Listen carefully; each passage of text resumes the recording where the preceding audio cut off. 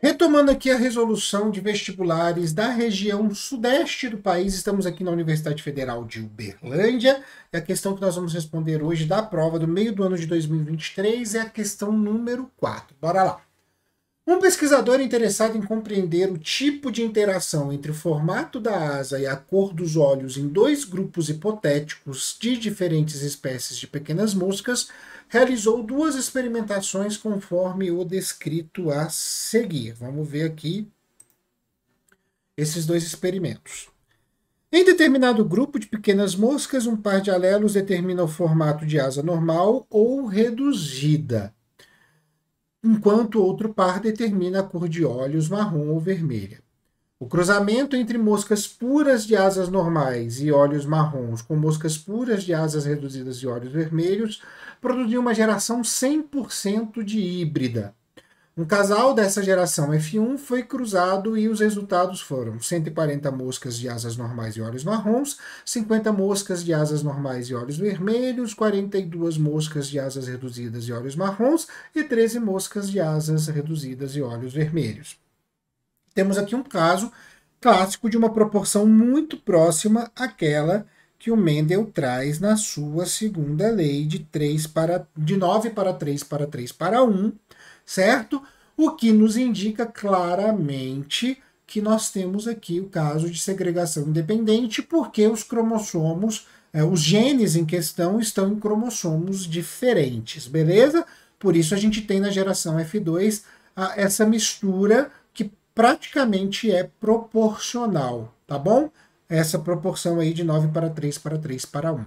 Tá? 9 com as duas características dominantes, 3 para a primeira característica dominante a segunda recessiva, 3 para a primeira característica recessiva e a segunda dominante, e uma para as duas características recessivas. Experimento 2. Em um outro grupo de pequenas moscas, a asa selvagem é dominante sobre asa em miniatura. Olho selvagem, marrom avermelhado, é dominante sobre olho vermelho. Fêmeas selvagens puras foram cruzados com, machas, com machos de asa miniatura e olhos vermelhos.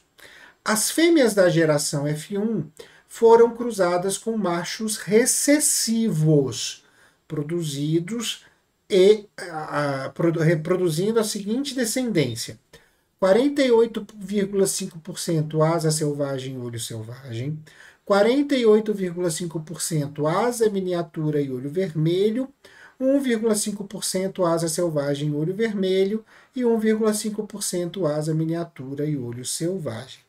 Nesse caso aqui, gente, eu tenho um caso clássico na qual eu tenho os genes responsáveis por essas mesmas características no mesmo cromossomo. E como eu tenho, prestem muita atenção, depois eu tenho aqui o cruzamento na geração F1.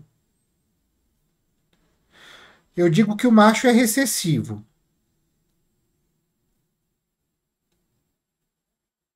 Opa. Só, tá, é. O macho é recessivo, então no mesmo cromossomo ele tem Azinho, Azinho, Bzinho, Bzinho. Certo?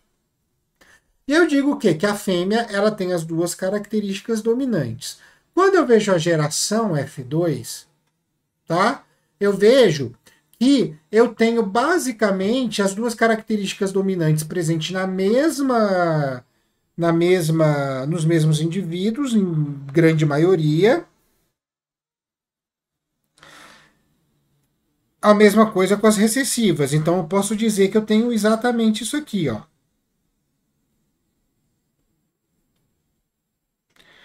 O que acontece nesse caso que me traz também uma questão de, de desses genes estarem no mesmo cromossomo? Era para eu ter 50% aqui e 50% aqui.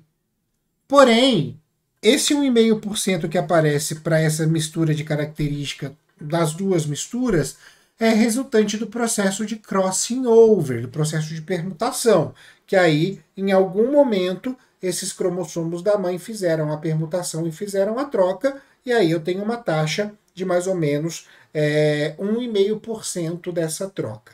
Beleza? Bem, dito tudo isso, vamos aqui olhar para a nossa questão e ver o que está sendo pedido. Esses dados indicam que os alelos de ambas as características nos dois experimentos estão, respectivamente, a. ligados a um cromossomo sexual e em interação epistásica? Não, nós não temos, no caso, um, uma relação de cromossomo sexual, é autossômica, e nós não temos, nesse caso, uma interação epistásica no experimento 2, porque eu não tenho uma, um gene suprimindo a manifestação do outro. Então, não é a A. B. No mesmo par de cromossomos homólogos e interação poligênica, não, nós não temos cromossomos, no, o mesmo cromossomo com os genes no caso 1, pelo contrário, é um caso clássico de segunda lei de Newton, de segregação independente, e para isso eu tenho que ter os genes em cromossomos diferentes, e eu não tenho uma interação poligênica no experimento 2, posto que eu não estou somando resultados. Não é um caso de poligenia. Eu tenho dois genes com características diferentes e a, a, a característica manifestada por eles não interfere na outra, tá bom? C. Em diferentes pares de cromossomos homólogos, ok. Primeira, segunda lei de Newton, de, de Newton, de Mendel, no Newton e Mendel é demais. É segunda lei de Mendel, no caso da, do experimento 1, ligados em configuração cis. No experimento 2, se estão ligados em configuração cis, ah, pressupõe que eles estão no mesmo cromossomo. O que, que é a configuração cis? Quando eu tenho os dois dominantes de um, no mesmo cromossomo e os dois recessivos no outro. A configuração trans é o inverso, tem um dominante e um recessivo em cada cromossomo. Então, ok, achei aqui, alternativa C. Mas vamos ver as demais. Ligados em configuração trans, no primeiro experimento eu nem tenho isso, porque eu tenho exatamente cromossomos diferentes, tá? E em diferentes pares de cromossomos homólogos. Não, eu tenho no mesmo par. Então, fechamos aqui como alternativa C a alternativa correta.